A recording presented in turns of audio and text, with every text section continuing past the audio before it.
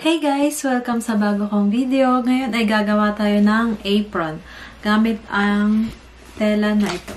Ang size niya ay 112 cm by 1.5 meter. Ayan siya. Tada! Maganda yung tela niya, makapal. Kaya naisipan kong gumawa ng apron.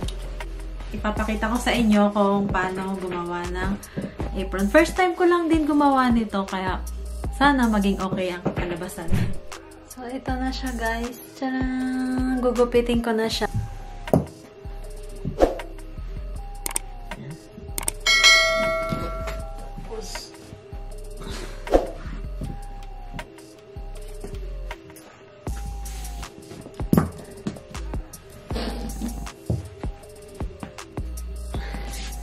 Ang hirap gumalaw pag buntis. Papakita ko na lang siya pag nangupit ko na siya. So, ito na siya, guys. Nagupit ko na siya. Ito yung pang front sa taas, pang ruffles sa baba. Tapos ito sa pang belt. Tapos, ito yung, ano, ito yung skirt. Tapos, ito naman, hahatiin ko pa to para sa, dito sa shoulder. At ito ay sobra. Ayan, simulan na natin.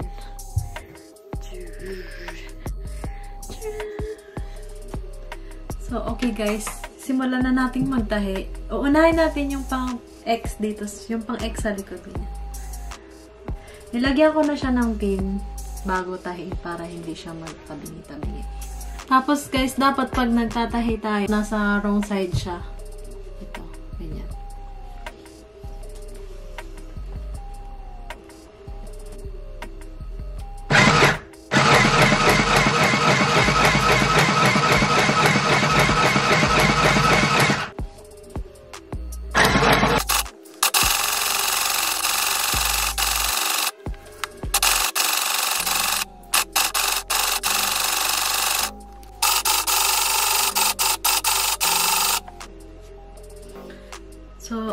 Guys. Tapos na siya. Natay ko na siya. Kaya, pagkatapos nating itahi ito, gupit-gupitin lang natin ng paganto. Gupit-gupitan. Yung sobra, gupit-gupitan natin ng dito. Tapos, saka natin ibaligtad. So, ayan. Okay na siya. Gamitin lang natin tong ito. Para mabaligtad siya.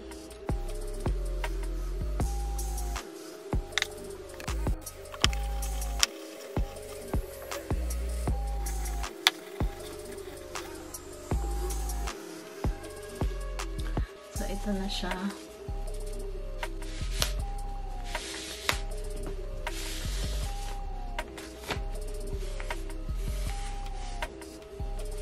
So, ayan.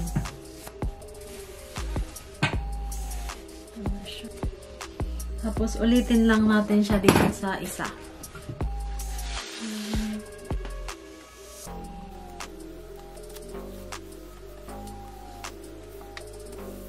O, next ay front top. Ikakabit natin, ikakabit na natin to sa front top.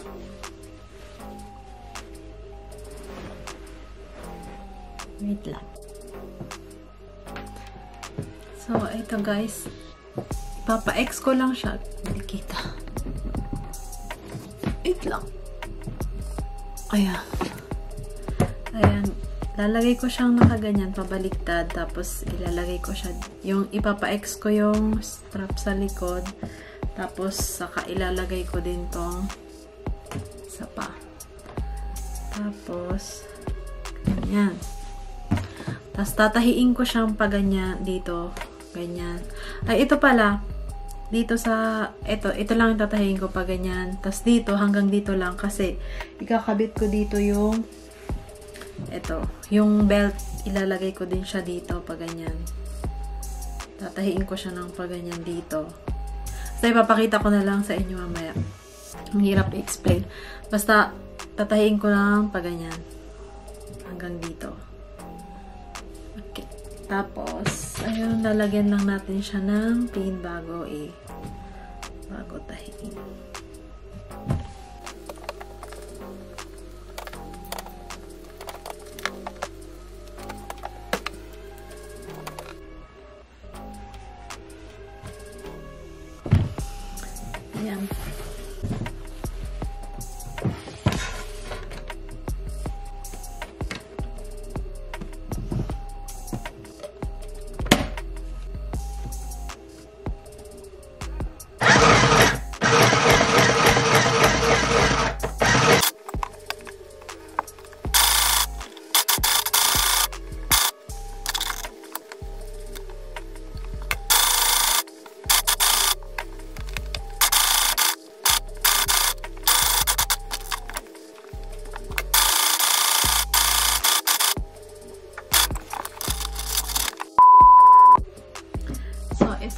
Nakabit ko na yung isang belt. Parang, it, ganito yung nangyari, ba? Ito yung, top na front. Tapos, ito yung pa-X.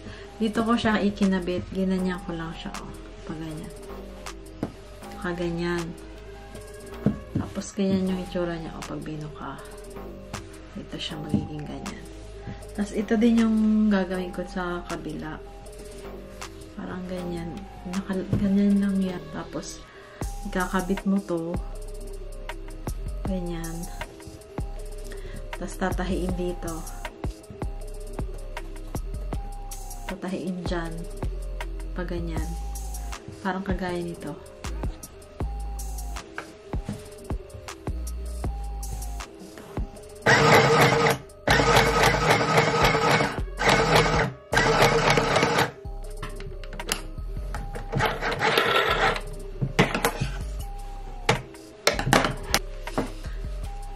Ito na siya guys. Binaligtad ko na siya. Ito siya. Diyan. Ayan siya. Tapos, ito yung nakabit ko na din yung belt. Yung skirt na lang.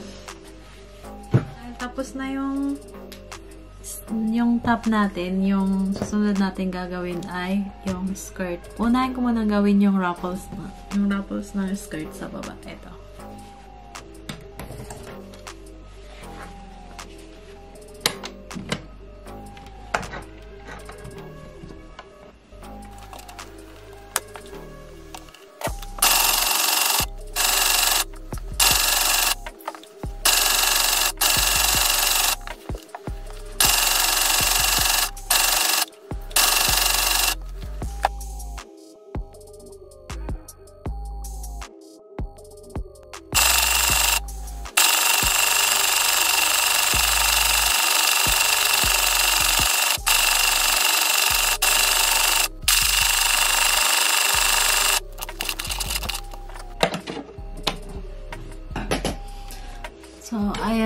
Dalawa yung ginawa ko kasi dalawang, ayan, dalawa siya.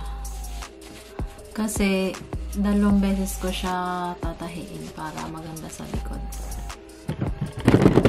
Gagawin natin ay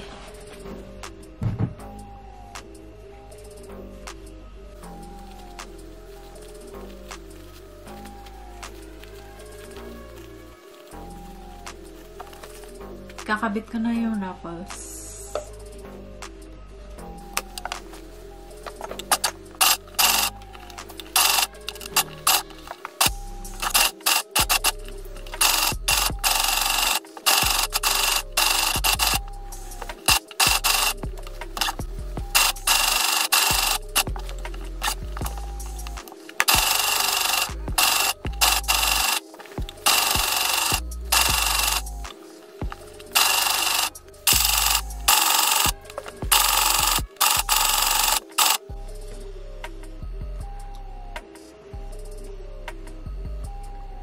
So, guys, malapit na siya matapos. Ikakabit ko na yung skirt sa top.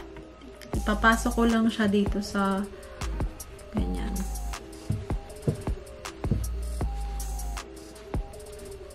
Tapos, tutupi ko ganyan.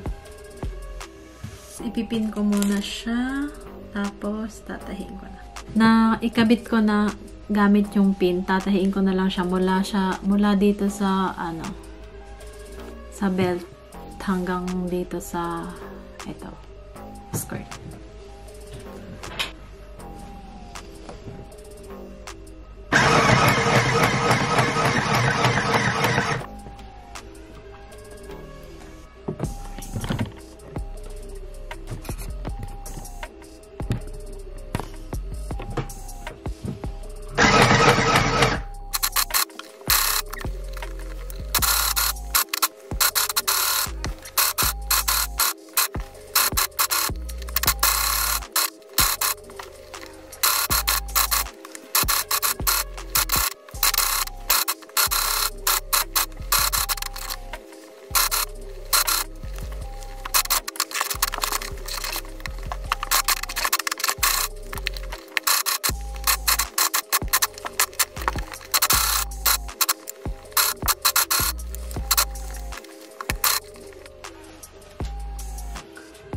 So guys, itan na siya. Ikakabit ko na lang siya dito.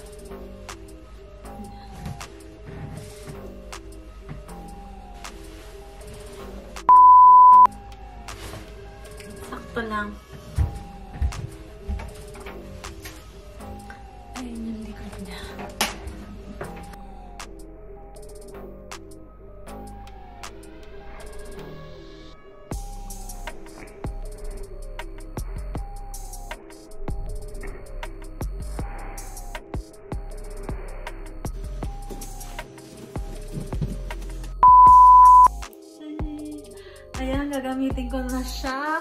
At ako'y magluluto na. sana may natutunan kayo. At sana nagustuhan nyo tong video na to. Please like and subscribe. Bye-bye! See you next video!